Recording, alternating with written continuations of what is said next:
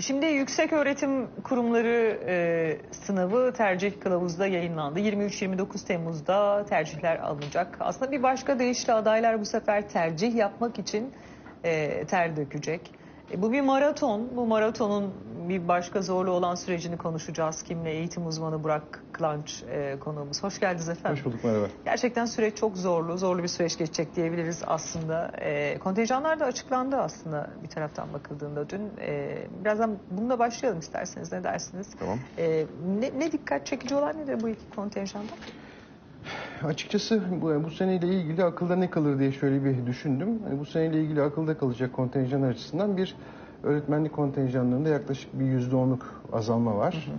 E, Benzer şekilde açık öğretim kontenjanlarında bir azalma var. Açık öğretimde de azalma Açık öğretim kontenjanlarında mesela lisansta yüzde otuz ikilik bir azalma var. Ee, bir de ikinci öğretim e, kontenjanlarında bu çok dile getirilmedi. Şöyle bir takip ediyorum hem diğer medya kuruluşlarının yayınlarında hem sosyal medyada ikinci öğretimdeki azalma çok e, dikkat çekmemiş ama ikinci öğretim programlarında da kontenjanlarda bir yüzde e, 32-33'lük azalma var. Azalma. var.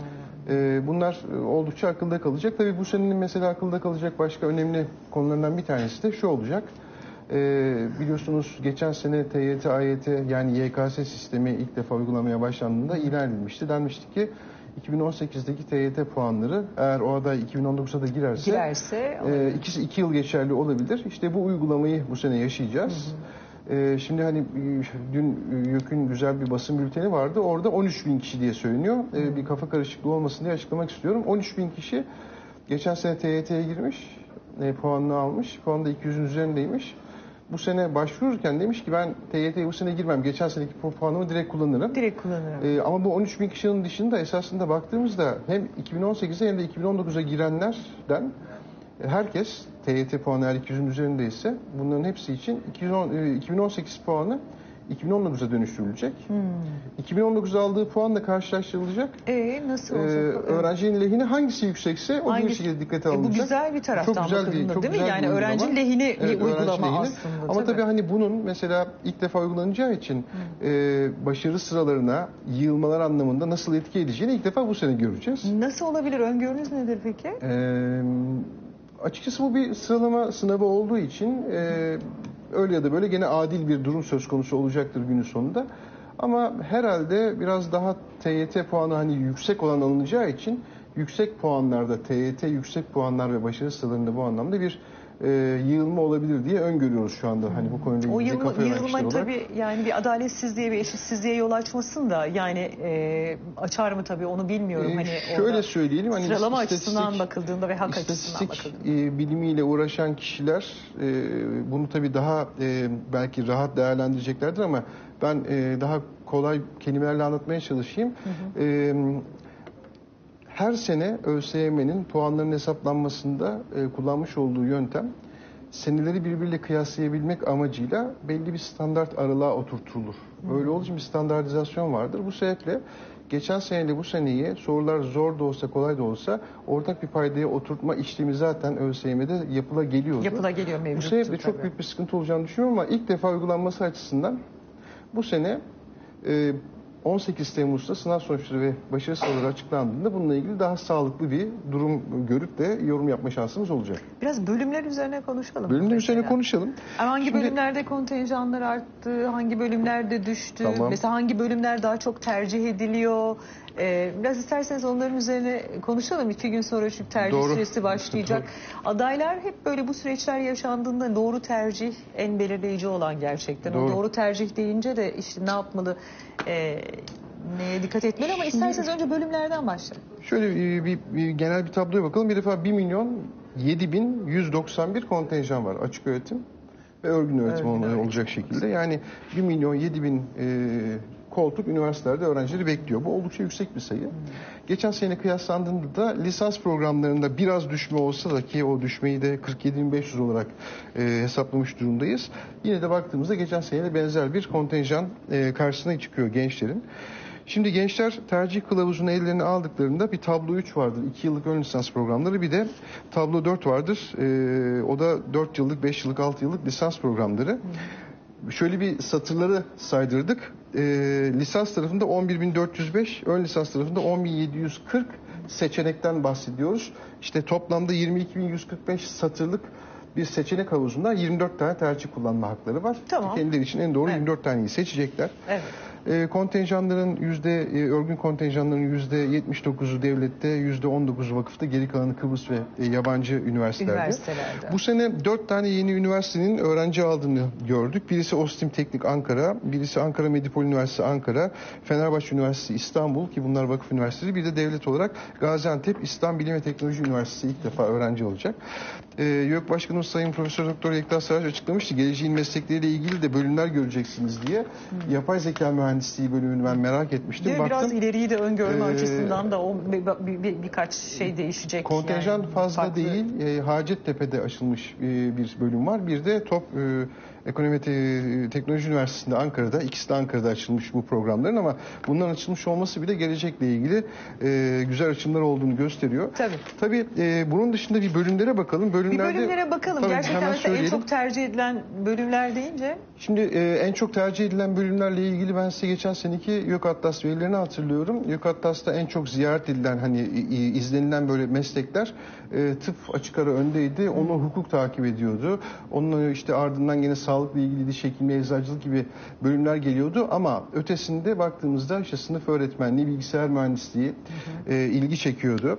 Şimdi baktığımızda tıp kontenjanlarında bir artış var. Tıpta E, artış var. 15.050 kontenjan okul birincisi kontenjanları dışında. Geçen sene eşdeğer kıyasladığımızda 725'lik bir artış görüyorum. Diş hekimliğinde 702 kişilik bir artış var. 6680 kontenjan. Eczacılıkta benzer şekilde bir e, artışımız var.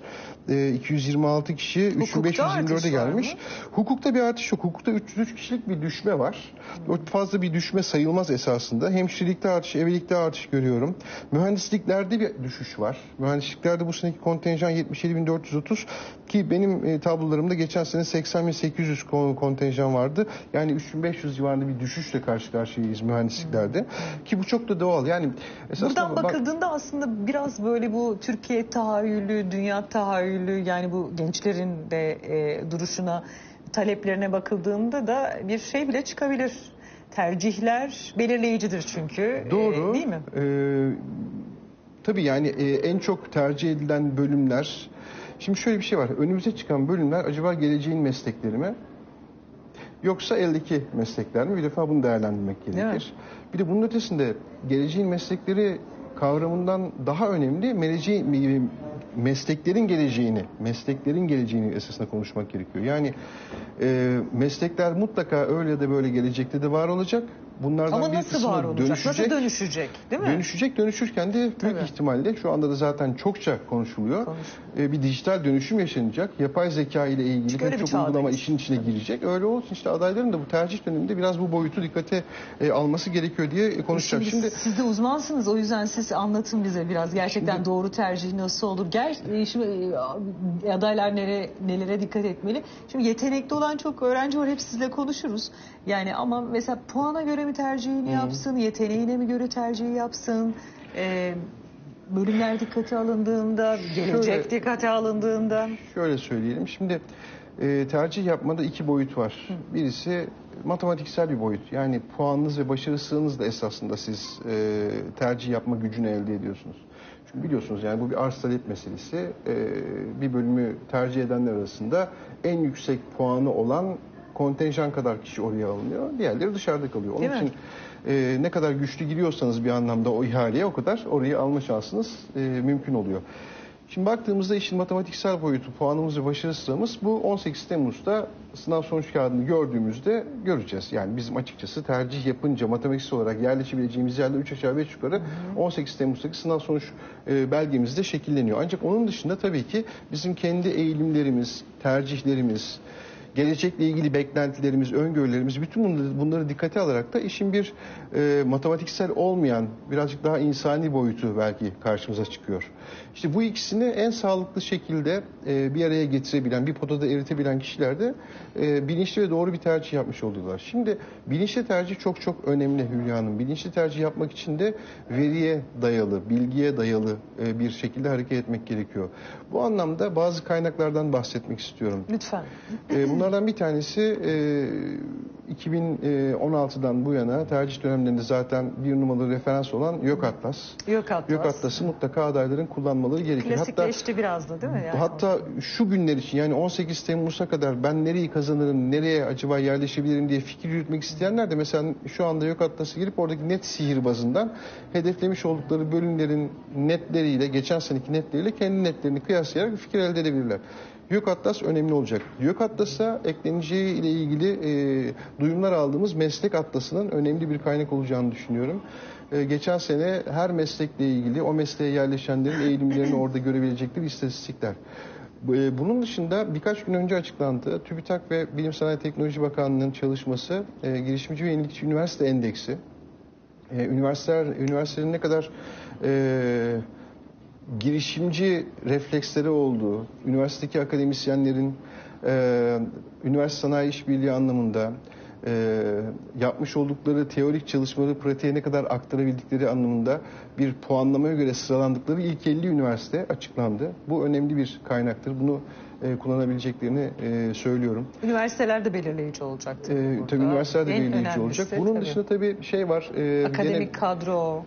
Birkaç oraya geleceğim. Birkaç birkaç ay önce YÖK'ün gene açıkladığı basına da e, şöyle daha doğrusu kamuoyunda şöyle isimlendirilmişti. Üniversite karnesi diye. YÖK'ün hem devlet hem de vakıf üniversiteleri için e, bir karne çalışması var. Belli kriterlere göre e, üniversitelerin durumlarını sayısallaştırarak, endeksleyerek e, adayların önüne koyacakları bir rapor.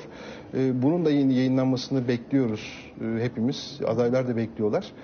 Ee, Cumhurbaşkanlığı İnsan Kaynakları Ofisi tarafından birkaç hafta evvel üzerinde çalışıldığı duyurusu yapılan istihdam endeksi yani örneğin bilgisayar mühendisliğinden mezun olanlar ortalama e, kaç ayda ortalama kaç lira maaşla e, işe giriyorlar gibi. Yani bakın güzel çalışmalar artık Ya bu çalışmalar önemli çünkü hayat tahayyülü diye bir şey var. Aynen yani öyle. siz bu dört yıl okuyacaksınız ya da üzerine yükseğini de yapacaksınız işte. Ee, ama bir, bir, bir, bir ön- önünüzü görmeniz lazım. Bu mesleğin gelecekte karşılığı ne? Geleceğin bu meslekte karşılığı sizin söylediğiniz de çok Doğru. önemli. Tersten aslında biraz da bakarak. O kadar önemli ki şu an yaptığımız e, bu röportaj sizinle o kadar belirleyici ki aslında. Çünkü birçok genç kulağını burada veriyor ve e, çok önemli. Çok Buyurun. önemli bir şeye e, biraz evvel temas ettiniz. Bir üniversite esasında akademisyeni kadar kıymetlidir. Eğri doğru konuşalım. Öyle olduğu için Akademik kadro tabii, akademik çok kadro. belirleyici, Yani tabii. sonuçta bir futbol takımının kıymeti futbolcularıyla hani belli olur. Tabii hani o futbolcuların arka planda çalışanları, futbol takımının arka planda çalışanları vardır, teknik direktörü vardır, yönetim vardır vesaire ama ne olursa olsun baktığınızda sahaya çıkıp oynayanlar, bir şeyler sonuç üretenler futbolculardır. Akademisyenlerin de bu anlamda iyi tanımaları gerekiyor adayların. Yani e, hedefledikleri üniversite ve bölümün akademik kadrosunu nereden görebilirler? Gene YÖK'ün çok güzel bir çalışması var. YÖK Akademik. YÖK Akademik diye eğer arama motorlarında ararlarsa ya da Tabii. YÖK'ün sayfasına girerlerse orada hedefledikleri bölümde hangi hocalar var?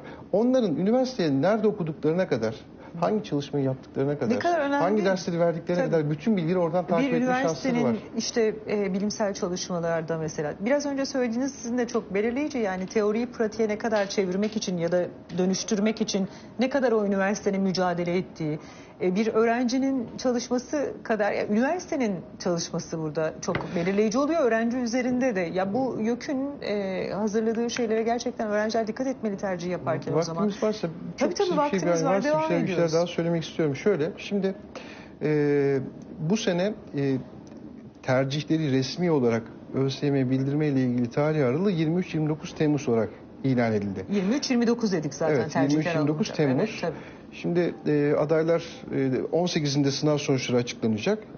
Puanlarını, başarı sıralarını görecekler. Gözlerine üniversitede kestirmeye başlayacaklar. Yani ben bu puan ve başarı sıramla işin matematiksel boyutuyla herhalde buralara yerleşebilirim gibi görecekler Tabii, diyecekler. tabii.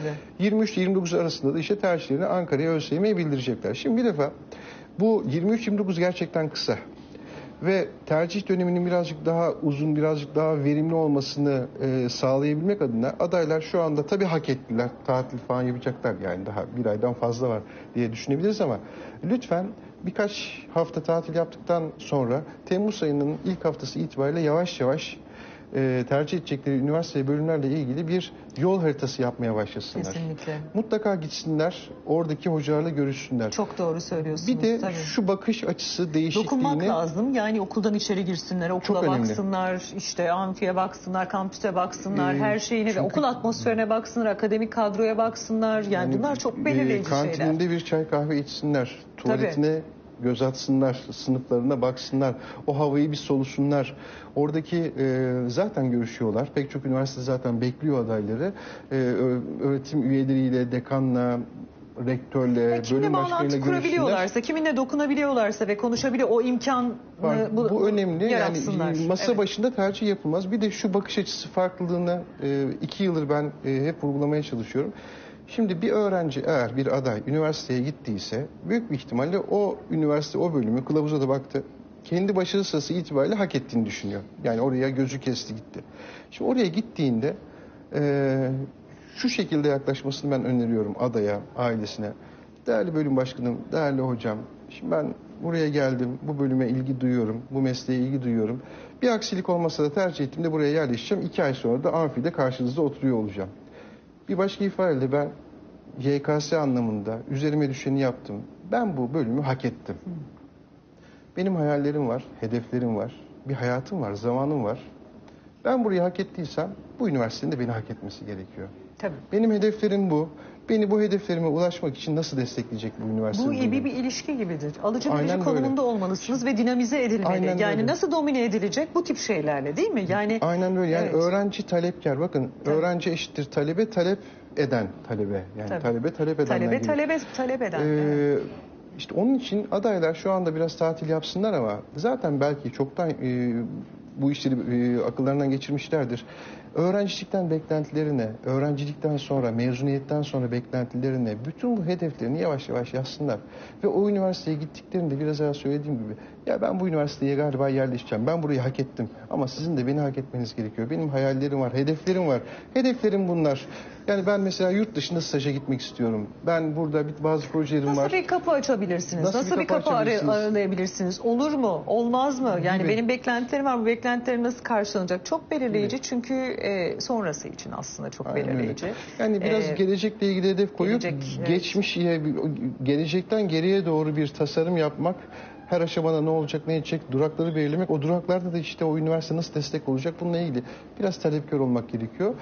Bunun yanıtını aldığınız zaman da o üniversite sizin için en doğru üniversite oluyor. Bakın bu Biz çok önemli. Çok önemli şeyler söylüyorsunuz gerçekten. Ee, tercih bu saatten sonra artık zaten kılavuz yayınlandı. Ee, tercihi konuşuyoruz ama gerçekten tercih için ter dökecekler, e, dökmek zorundalar. Çünkü bu maratonun Doğrudur. en önemli yanı da belki bu. Ama bu tercih için ter dökerken yetenekler de var. Mesela o yeteneği mi dikkate ne kadar almalı, puanlamayı mı ne kadar dikkate almalı? Biraz böyle orada bir e, o tarz sorular çünkü geliyor. Burada belirleyici tabii, olan nedir? e, Yetenek midir? şö- tercih? Şöyle söyleyelim. e, benim yeteneklerim e, hangi mesleklere, benim ilgim hangi mesleklere e, odaklanmış ya da uygundur arayışı bu zamana bırakılmaması gereken bir arayış. Değil mi? Esasında Çoktan hani- belirleyici, o çoktan yani, onu- e, 4 artı 4 artı 4 diyoruz. 4 yıllık lise hayatı boyunca e, bizim e, liselerimizde rehberlik servisleri var. Hmm. E, öğrencilerimiz rehberlik servislerindeki öğretmenlerle esasında ilgilerinin hangi yöne olduğunu, yeteneklerinin ne olduğuyla ilgili kendilerini orada keşfetmeleri lazım. Kaldı ki anladığım kadarıyla bunun önemi Milli Eğitim Bakanlığı tarafından fazlasıyla idrak edilmiş durumda. Zaten hani ülke olarak da hani biliyoruz. E, biliyorsunuz bir kariyer ofislerinden bahsetmişti Sayın e, Bakanımız bundan e, bir ay kadar önce yeni lisenin onun modeliyle birlikte. İşte e, yavaş yavaş liselerde de adayların e, öğrencilerimizin, gençlerimizin kendilerini keşfetmeleri ve kariyerlerinin doğru şekilde yönlendirilmesiyle ilgili herhalde gelecekte e, daha farklı şeyleri liselerde göreceğiz. Şunu söyleyeyim. E, artık bu saatten sonra dediğim gibi hani bir arayış içine girmek çok da belki gerçekçi değil. E, ama adaylar öyle ya da böyle e, kendilerinin hangi yöne e, eğilimli olduklarını biliyorlardır ki mesela sayısal odak sayısal odaklı Ama gittiler, evet. eşit ağırlık odaklı gittiler. Eşit ağırlıklı sayısal E, bu- odaklı. Bundan sonra bundan sonra o mesleklerle ilgili yani tercih edecekleri mesleklerle ilgili e, çok e, büyük bir e, internet bilgi e, ortamı var. İnternetten araştırma yapabilirler. E, etraflarında aile dostları olabilir, akrabaları olabilir, o mesleği icra eden kişilerle bir kez daha konuşabilirler. Ama şunu tabii söylemekte fayda var. Genellikle bir meslekle ilgili sohbet edilirken hep o mesleğin iyi yönleri e, anlatılıyor. Ya da bazen sadece kötü yönleri anlatılıyor. Onu iyi süzmeleri gerekiyor. Çünkü çünkü sanırım daha önce de sizinle konuşmuştuk. Aslında bir insan eş seçmesi gibi. Yani o Aynen, değil. doğru. Yani siz bir eş seçmezsiniz, bir hayat seçersiniz. Meslekte böyle bir şey değil mi? Yani bu mesleği seçiyorsunuz ama gençler farkında mısınız bilmiyorum. Aslında bir hayat seçiyorsunuz. Doğru. Çünkü o mesleği o society ile birlikte düşünmek gerek. Yani gelecek tahayyülü önemli. Ee, dünyanın içinde bulunduğu durum, e, teknoloji devrimi, işte dördüncü sanayi devrimi diyoruz. O dijital çağ bunların hepsi de göz önünde bulundurmalı e, diye düşünüyorum. Son birkaç böyle Son toparlama birkaç şey de cümlenizi söyleyeyim o alsam. zaman. Şimdi geleceğin meslekleriyle ilgili çok konuşuluyor. Hoş ben mesleklerin geleceği diye farklı bir kavram bahse- kavram Güzel de bahsetmeye oldu. çalıştım. Evet, Ama o. geleceğin meslekleriyle ilgili güzel kaynaklardan bir tanesi YÖK'ün e, 102 bin programındaki mesleklerdir ya da alanlardır. YÖK e, 100 önemli alanda 2000 doktora öğrencisine e, burs vereceğini açıkladı. Evet. Gene YÖK'ün sayfasında 102 bin diye arayacak olurlarsa adaylar görebilirler. e, hangi alanlarda nitelikli insan gücüne Türkiye'nin ihtiyacı olduğunu YÖK belirledi ve bunu ilan Evet. etti. Bu önemli bir kaynak. Evet. Bunu söylemek istiyorum. Bir de e, son yıllarda, son 4-5 yıldan beri merkezi yerleştirme puanı esasına göre yatay geçiş yolları açıldıktan sonra üniversite öğrencilerine esasında tercihler birazcık daha rahat geçiyor. Adaylar şunu unutmasınlar. 18 Temmuz'da görecekleri puanlar ve başarı sıraları esasında üniversiteye yerleştikten sonra yol değiştirmek için hep geçerli. Çünkü üniversite öğrencisi olduktan sonra bir sene iki sene sonra 2019'da almış oldukları puanların daha sonra yettiğini fark ettikleri her bölüme yatay geçiş yapma şansları da olacak. Peki. Bunu da söylemiş olalım. Peki gerçekten zorlu bir e, süreç gençler için ama çok da keyifli bir süreç. E, çünkü önü biraz e, öngörmek adına biraz ter dökeceksiniz E, ama 23-29 Temmuz'da tercihler alınacak. Yüksek Öğretim e, Kurumları sınavı tercih kılavuzu da yayınlandı. Biz de kimle konuştuk? E, tabii ki eğitim uzmanı Burak Kılanç'la konuştuk. Yine geldiniz gün ortasına bir başka gün ortasına. Çok teşekkür ediyorum Ben çok efendim. teşekkür ederim. E, gençler e, çok önemli geleceğimiz diyelim.